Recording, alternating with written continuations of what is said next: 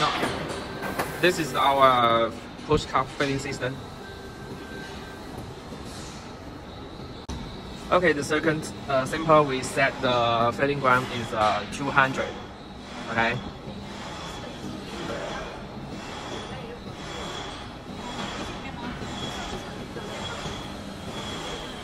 When the sensor are filling the cup coming, the pump start filling.